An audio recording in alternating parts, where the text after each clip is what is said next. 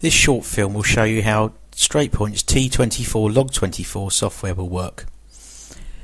This demonstration is set up for four load cells and as you can see I've entitled each one load cell 1, 2, 3, 4 and I've also set up a fifth channel for total load.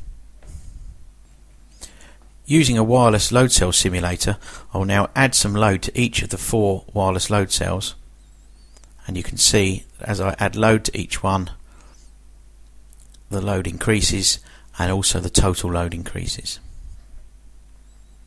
This system will work with any of the StraightPoint wireless load cells, so the radio link, the wireless load shackles or the wireless compression load cells.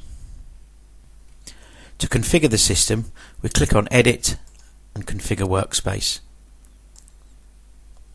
Once you see this screen, you can see that we can change the title, we can change the format for the display. So in this instance, I'm displaying in pounds, so it's a single zero. But if it was in tonnes, for instance, it may be zero zero zero. You can change the title, so we could change that from load cell 1 to load cell 1, for instance. If you decide for another test you want more than four load cells, you can select here however many load cells you require. Let's say for instance 8 and then the system will automatically build you a configuration with 8 load cells.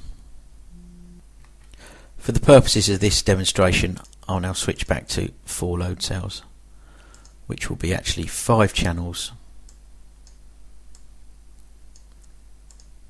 as we are also having a total load.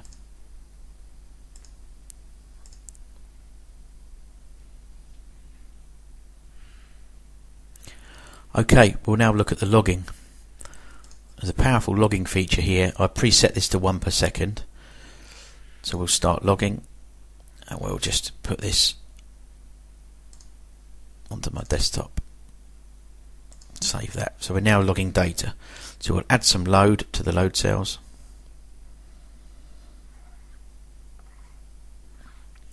And then we'll take the load back to zero.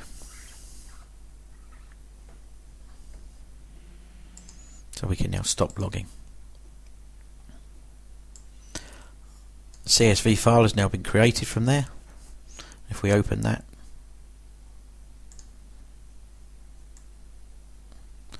you can see we have date and time, the elapsed milliseconds, and then load cells 1 to 4 with a total load, in this instance in pounds.